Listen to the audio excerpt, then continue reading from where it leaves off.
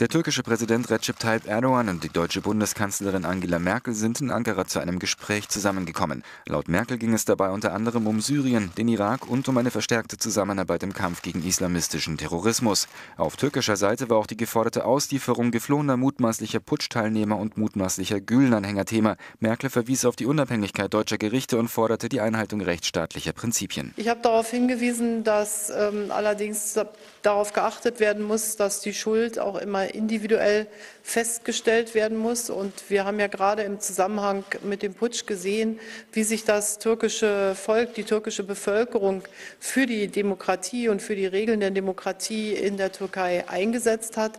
Gerade deshalb ist jetzt in dieser entscheidenden äh, Phase natürlich auch wichtig, dass äh, Meinungsfreiheit ähm, eingehalten wird. Die deutsche Opposition hatte von Merkel aufgrund des harten Vorgehens Erdogan gegen Zehntausende angebliche Staatsfeinde und der angestrebten Verfassungsreform für ein Präsidialsystem klare Worte gefordert.